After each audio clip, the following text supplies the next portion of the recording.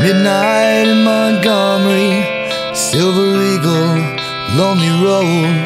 I was on my way to Mobile for a big New Year's Eve show. I stopped for just a minute to see a friend outside of town. Put my collar up, I found his name. I felt the wind die down, and a drunk man in a cowboy hat surprise.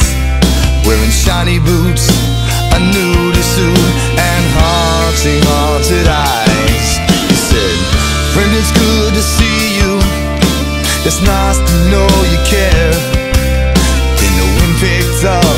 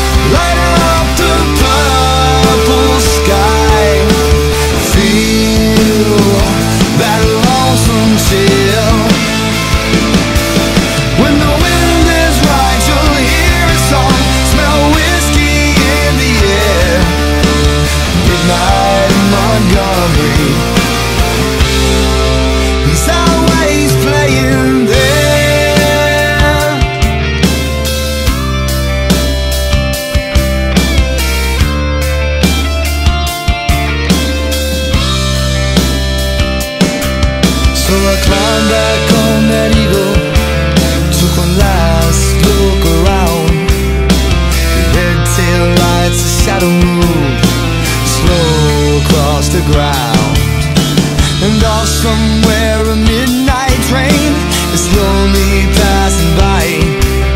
I can hear that whistle moaning. I'm so lonesome